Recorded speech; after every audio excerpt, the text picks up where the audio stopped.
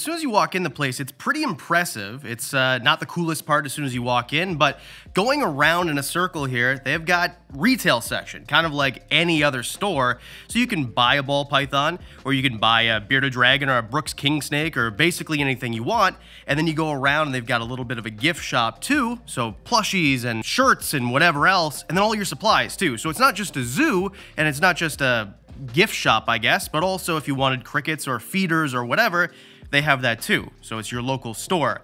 But my favorite part is Adoption Island because animals that need a home, there's a hundred bearded dragons or ball pythons or corn snakes or leopard geckos that are gonna need a home because people buy them and then don't want them anymore. Someone moves off to school or whatever the case is, and these guys will take them in. Snake Discovery will take them in and offer an adoption fee, a very low adoption fee, rather than making a bucket of money and selling them for 150, 200 bucks. It's a small adoption fee. So that is the coolest part to me, but that's not what you're here for. Let's head into the zoo. Okay, so this is the part that you actually want to see. This is the zoo. So you walk out of the retail section and then you walk into a zoo. And this place is impressive. It doesn't look like any other zoo. It's not bars and cages, it's rocks from Universal Rocks, and it looks natural. It looks like a place that I don't know, like a cave system or something. There's plants on the walls. So we're gonna go through as many of these enclosures as we can. We're gonna ask Ed, we're gonna ask Emily, maybe we can get some of the staff, maybe some of the other influencers, and ask them what their favorite animals are. And then I'll tell you what mine is. So let's get to it. So you walk in the entrance of the zoo and then you turn left and it's tortoises only. I can't even go in here because it's tortoises only. And we've got a sulcata and a leopard tortoise in here. And the interesting part is they have free roam of the entire place. So sometimes you'll just find a sulcata tortoise where a sulcata tortoise shouldn't be, like in an alligator enclosure, well, underneath one anyway. I think that's because the leopard tortoise can't get up this lip, the sulcata can, and therefore uh, it's just like a refuge because the leopard tortoise really likes the sulcata tortoise a lot. I guess maybe the most impressive part, is as soon as you walk in, this big snake discovery sign, and then below it, a pond for turtles. So we've got map turtles in here, we've got soft shell turtles, and that's interesting because normally what you see is sliders and whatever else. You don't see soft shell turtles as soon as you walk into places, people's homes or whatever. So to me, that's interesting. They're kind of cool. And it's a huge enclosure, and that's gonna be a theme of the episode because all these enclosures are massive. Okay, so let's get to it. Let's get to the top five most impressive, my favorite picks at the Reptile Zoo. And in between two, we'll talk about some other stuff too and talk about the staff picks, Ed's pick, Emily's pick, but this one we have to go over right now. Argentine boas, Phoenix and Ember.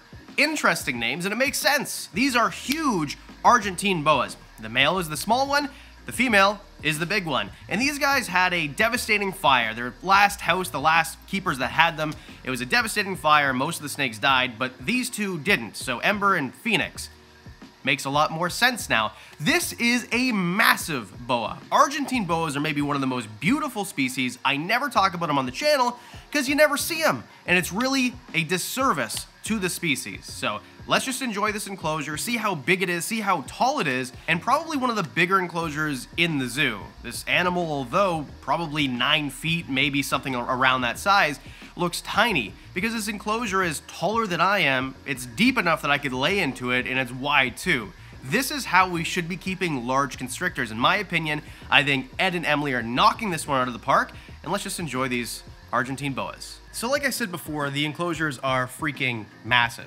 Behind me, we've got some colubrids. They're in the Drymarchon family, so they are giant colubrids, but seeing cribos and indigo snakes in these enclosures that are so wide, I'm not joking, I could literally lay in them stretched out with my arms above my head and not touch the sides. You never see this. And I think that is so cool. And that's what Snake Discovery is kind of doing here. I'll say it again and again. Giant, realistic enclosures with lots of basking spots, a lot of places to hide, but these snakes aren't out. So let's move over here. What we've got here is number four, a black-headed python. Now, I did a tour of a different zoo and I got a little bit of flack for not talking about the black-headed python. And I understand your concern because these guys from Australia are very cool. They are one of the only groups of species, or in the group of species, that don't have heat pits but are pythons. The other one being Woma pythons, which are right below us, a little bit more common, a little bit cheaper to buy, and probably why they're more common. Very high food drive from both these species, very large pythons. They're from Australia. And by very large, I mean just like not huge, but larger than a ball python maybe. basking platforms up top. These guys are, well, the entire day yesterday, looking over, and this black-headed python is not hiding. He's out in plain sight, available for you to look at. And so is the Woma python too. So I think that they're very unique, very interesting. But I think they're cool because they're unique looking. They have the banding. The black head has that black head. And it's not something that you see really in any other type of snake. That's number four. Let's move on. And here we go again. After you're done looking at the black-headed python, after you're done looking at the Woma, you got a whole nother row of these giant enclosures for snakes that really normally don't have enclosures this big. So let's go over a few and then we'll get to number three. Well, Vietnamese rat snakes we've got in here. We've got giant hognose snakes in here. The false water cobra is absolutely insane. So it's cool to see big colubrids getting what they actually need in the zoo. But you want to see number three. And one of my favorites and always will is Allie. And yeah, I have a tegu of my own. I get it. She's an Argentine black and white tegu. And she's got this bumpy little tail, stumpy little tail, I guess is a better word and she's adorable. And last year we got to play with her quite a bit, and now she's in the zoo where she belongs because people need to enjoy her too. Now, Argentine black and white tigers aren't for everybody, of course.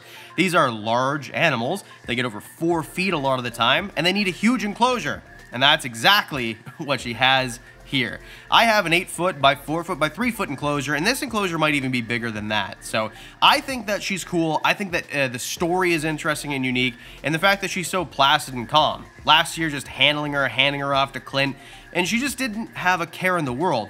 It was like one of my dogs, except for Scaly, and I didn't have to brush her, and the fur wasn't in my couch for weeks. Allie's awesome. Allie's number three, but there's something in front of me that I really want to show you too. Ed, what is your favorite animal in your reptile zoo? Oh, my favorite animal has got to be the green trees. They have always been my favorite. They've always captured my imagination just with how they sit. That's actually two curled up next to each other right now. Um, that's my really dumb male that tries to eat himself every time I feed him, and my girl who he's constantly pestering. Uh, we have one more back in there, um, the Sorong female down on the bottom. She's kind of in a weird spot. She's usually hiding behind this wall. But I just love the way they look, the way they curl up in the, the branches. Look like just, it just, anybody who always looks at those always goes, that just, that's a snake that makes you want to have a story. Addition to the zoo and something that a lot of places don't have. is a bull snake just kind of photo bombing me here, is they have a wall dedicated to animals that you can find locally in Minnesota. So fox snakes, western hognose snakes, bull snakes, obviously. Yeah, you're the star of the show, bud. Good for you. I think that's really cool. And this includes venomous snakes, too. Did you know you could find venomous snakes in a place where it's minus 40 in the winter? Now you do. That's right. We have the uh, goofiest named venomous snake ever to exist, but I think it's cool. Timber rattlesnakes are awesome. They used to occur where I live, but they are extinct in that area now. You can find them in parts of the north, sort of east of the US. There's actually a map right here. I don't know why I'm trying to sound smarter than I actually am. And a western diamondback rattlesnake they have too. So this is something that you definitely don't want to have if you're not an expert. This isn't a, a pet. This isn't a toy. This is something for a zoo with trained professionals. And that's why they're here at Snake Discovery. Oh, you don't want to get bit by them. It's a bad day. Well, well, well. What do we have? You think I was going to go a whole week without talking about monkey tail skinks? No. Monkey tail skinks are cool. I'm glad the ones that I have. These are actually really little, the ones that they have in the zoo. They're going to grow up and be the largest skink in the world. That's what monkey tail skinks are from the Solomon Islands. They, though, have a massive enclosure and something for me to aspire to. To give my monkey tail skinks something that is six feet tall and how six feet deep, I don't know how big this thing is, it's freaking huge, is a dream of mine. And I'm watching it reality right here. Monkey tail skinks, you're gonna have to listen to me talk about them forever. And number two, I don't, I can't pick. It's got to be both the reticulated pythons because having giant snakes in your zoo is a task. These things are massive. Reticulated pythons can sometimes get to 20 plus feet.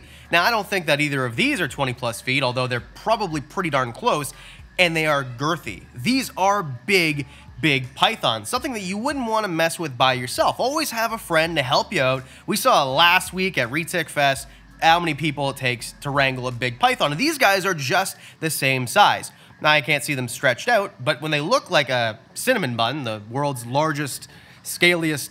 Anyway, you get the point. And the cool thing is, these snakes look tiny in these enclosures. These are maybe the largest enclosures I've ever seen for reticulated python, and they do the same with their berm too. And that's what is important, and I try to drive this home in some of the other videos too. If you have a giant constrictor. Don't go bare minimum. Don't put them in a six foot enclosure. And if you can go bigger than eight, that's great. But with a reticulated python, they're semi-arboreal snakes, even when they get big. And if people want to tell me they're not, well, look at this. Both of these animals are up on perches. Both of them are off of the ground, and they're on the rock ledges, which are very strong, obviously, because these animals probably weigh 80 plus pounds. I can't pick between these two snakes. They're both number two. But really what you want to see is number one, and I think you probably know what number one is. Let's just go to the favorite one. We know which one it is, and I think that the coolest part about the enclosure is that there's just a sulcata tortoise in the enclosure.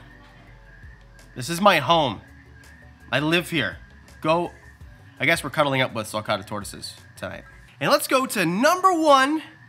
Well, actually, Emily and I have the same number one. Her favorite is this so let's just let her do it.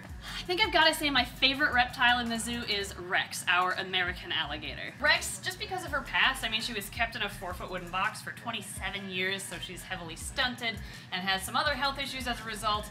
From going from that box to our basement for eight years, and now in our zoo, she's been with us such a long time, and she's really traveled a journey uh, with us. And she's, I mean, the only animal we have that actually responds to our voice, or my voice anyway, so I can call her over, Rex, Rex, come here. Come on, Rex. Come on. Come on out. Come here. Come on. Good. girl. Come all the way.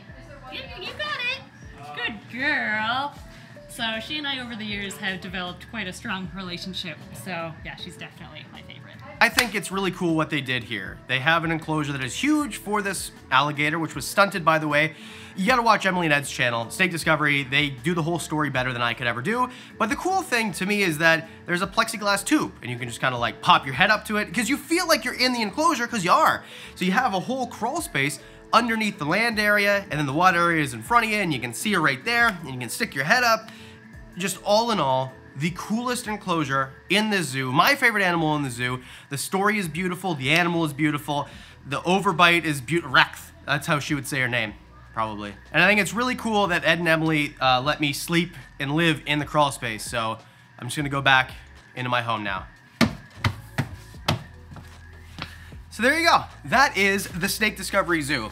This is the coolest experience. I wanna say thank you so much to Ed, Emily, Kim the manager, everyone who works here and has offered this opportunity for me to come in early today uh, before the meet and greet and do this. If you liked it, please hit like, please hit subscribe, and tell me in the comments, what is your favorite animal at this zoo that you've seen in my videos or other videos or where, just let me know your favorites. And a special thank you as always to the Patreon supporters. It's because of you guys I get to do trips like this. You guys are freaking amazing. You got to see my enclosure way early. You got to see this video way early. You know about extra stuff in my collection, extra trips. Oh yeah, I announced the trips this week.